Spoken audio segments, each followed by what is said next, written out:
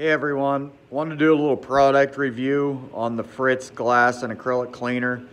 I actually got this from uh, Tidal Gardens, uh, their barbecue, and it was in the little gift bag of theirs.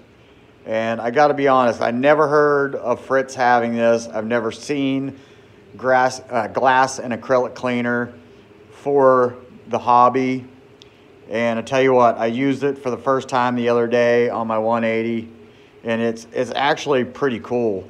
Um, it's not like, you know, if you use um, Windex or whatever, you're always scared. You don't want to get it into the tank, obviously. Um, it's pretty simple. I just shake it up a little bit, give it a little spritz.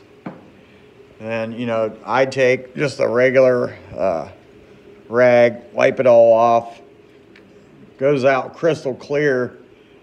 And what was really neat about it, and I never noticed it until just a little bit ago, my, uh, my flipper that I have, once you clean the glass with this Fritz, this thing slides like it's on glass. It's, it's so crazy.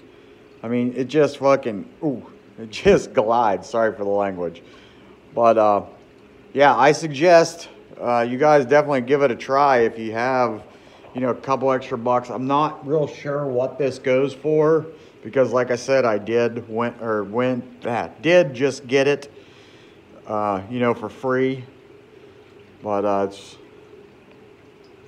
it's really good stuff. I like it. So uh, thanks again to Tidal Gardens for the little gift. And, uh, you know, like I said, check Than's site out. It's uh, tidalgardens.com.